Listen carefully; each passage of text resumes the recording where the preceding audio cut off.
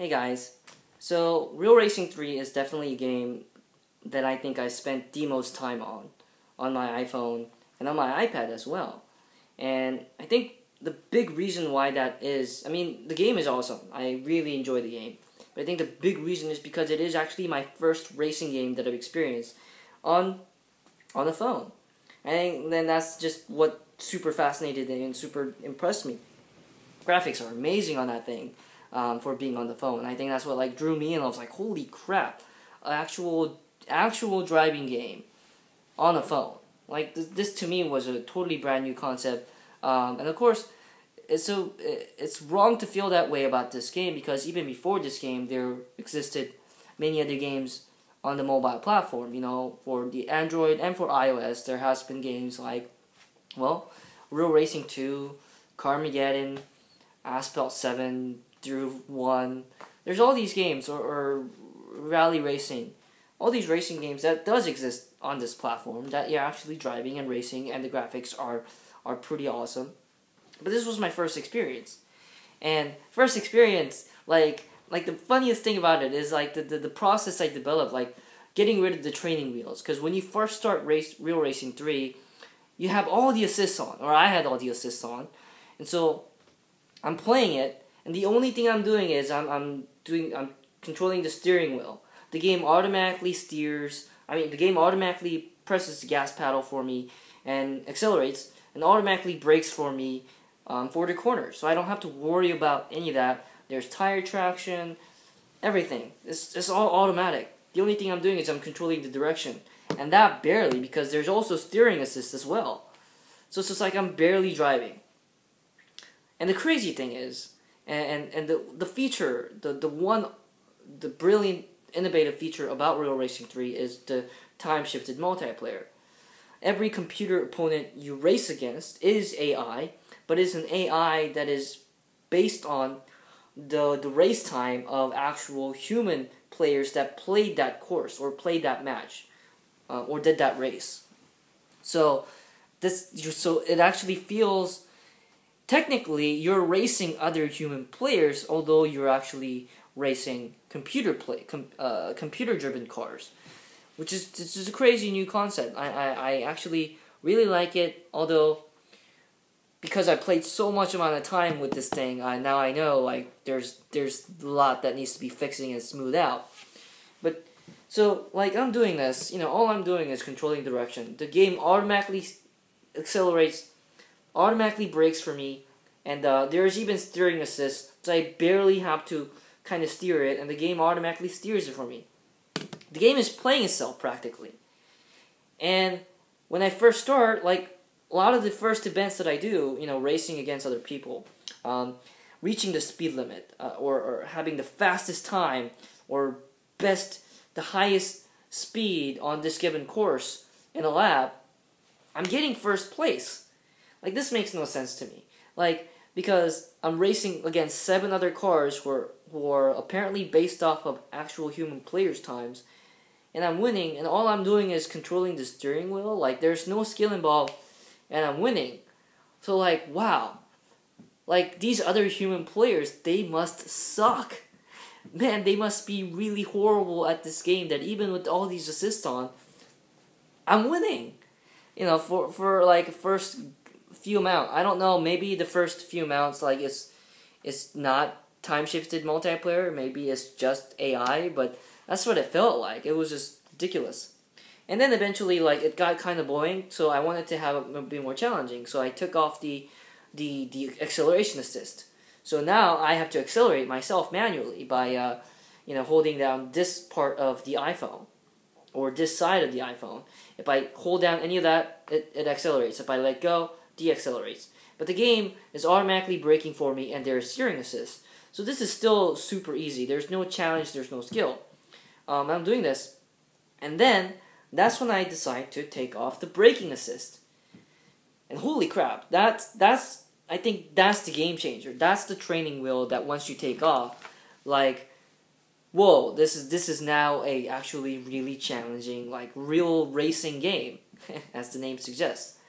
Um, three, though, not not two or one because I haven't played two or one. I I figure the previous games are gonna be exactly like this. If I played Real Racing 1 for the first time ever, if that was my first ever racing game on the iPhone, that would probably be the same, the exact same things as I'm saying right now.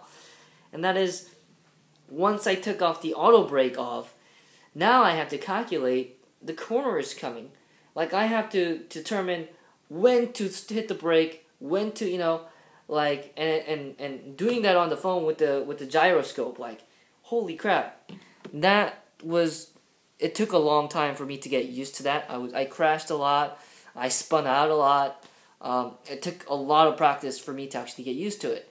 And at first, it was it was such a such a huge change to me. Like I was really sucking when I was doing that.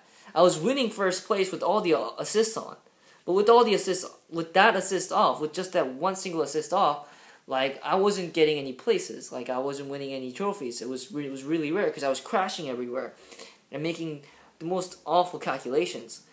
And it's just like, oh my gosh, I don't know how I'm gonna get better at this. So I went back and I changed the assist so that it's not auto brake necessarily, but it's a light assist. So when the, the game will automatically brake for me in a long distance lightly, but the most of the braking I have to do myself. So I slowly train myself to be able to race really well. And then I feel like I felt like okay, I'm I'm getting better. I'm getting better. Let's turn this off. I'm getting more familiar with the courses. I turned it off, and I'm finally starting to actually race really well. And that's just this is just a, a striking to me thing to me. Like I don't know how my brain functions, because the minute it takes the time it takes for me to calculate when to brake, what to brake, the information that I'm fed in, I don't rare the the information about how fast I'm going is usually on this top part of the screen, and it's so small, it's tiny font because I'm usually I I don't I usually drive in the first person cockpit mode. I think the third person driving mode for Real Racing 3 is is horribly disorienting. I never use it. I'm always in the cockpit mode. And when I'm in the cockpit mode, like the, the mileage is up here. When I'm in the third person, the mileage up, is down here in big font, so it's easy to see. So I have no idea how fast I'm going.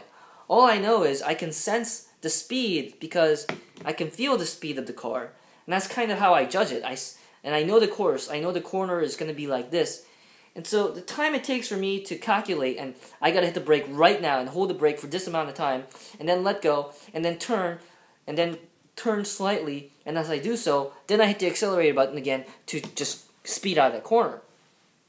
That the time it takes me to calculate all that is doesn't even take a second, which is amazing. Like how the brain, human brain functions, is an amazing thing. As I play this game, it's just like wow, I finally get this game. I'm finally playing this game, and I'm racing without any assists. Um, of course, I still had the tire traction assist, and I eventually got rid of the steering wheel assist. But like, it, I think that was one of the most amazing things to me to to experience that. And it's weird that I experienced it with this game, but not with any other any other racing game. Because even before this game, I played a lot of different racing games. You know, played the Gran Turismo's. Um, I played Grid. I never played Forza, so because I've never owned an Xbox 360, and um, the, a friend that I had that has a 360, not a big fan of racing games. Um, I played MotorStorm, and even those games, I never had this like, this sense of like, taking up training wheels one by one and having to sense a, of mastery. Like, I'm really good at this game now. Without all the assists, I'm good at it now.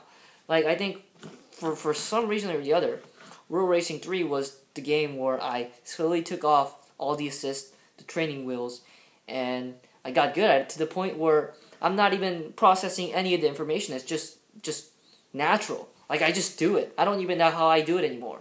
You know, I think that's one of the most crazy, wonderful things about the human brain. Um, it, it's kind of the analogy that I would make is my English proficiency. You know, I came to this country as an immigrant, without any knowledge of even alphabets. I didn't even know alphabets. But now English is some is a language I'm much more fluent in than Korean. And I don't know how, how that works. Like what happened in the brain so that like I can speak English naturally without even having to think so much about each individual words that I'm saying right now, but it's just happening. You know? Human brain is amazing how, how that it functions that way and and that fascination, that, that, that wonder, that sense of wonderment is something that I felt with, oddly enough, Real Racing 3. You know, so that was something I just wanted to share. Cheers.